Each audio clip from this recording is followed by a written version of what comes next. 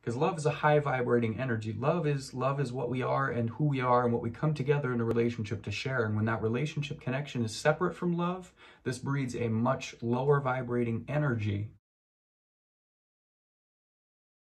Men, to have sex is to really become one flesh. Whoever we have sex with, we become energetically merged and intertwined with. And your now partner receives everything you do energetically unknowingly.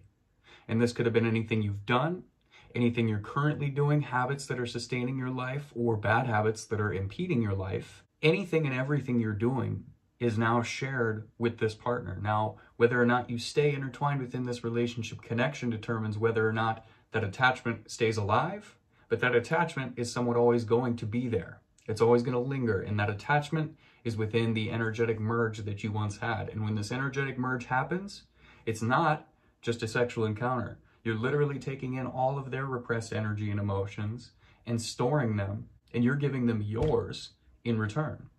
Now, these are things like even other past people that we've had sex with. These are lower vibrating traumas that we not only store and suppress within each other because we're taking them in and storing them, but we breed them through these sexual interactions that are separate from love because love is a high vibrating energy. Love is love is what we are and who we are and what we come together in a relationship to share. And when that relationship connection is separate from love this breeds a much lower vibrating energy a disembodied energy that is not the same density of love it is not high vibrating energy like love energy then we take in and interact with this energy instead. This is only creating more of that lower lust, more of our carnal infatuation. It's keeping our eyes in our carnal nature rather than our higher ideals.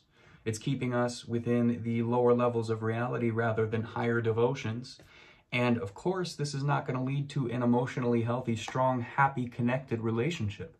The thing that we got to get through our heads is that if we're having sex with all these people on all these different occasions and we're programmed into believing and rationalizing this is all right, this is only going to store more energies that are going to present themselves later in your relationship and life down the line that then you're going to have to clean up and clear within yourself because this is emotional gunk that is literally stuffed and stored within our bodies that we take in, interact with, and transfer between people in an energetic connection, whether it's a trauma woven bond or a love connection, these energies are still stored and whatever, whoever we decide to interact with, we're basically going to inhabit a part of them. We're going to take in a part of them.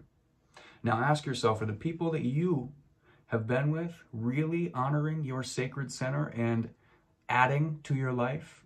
Or are they merely trauma woven bonds that are only pulling you further away from yourself and creating more mess that you're going to have to clear within yourself later down the line?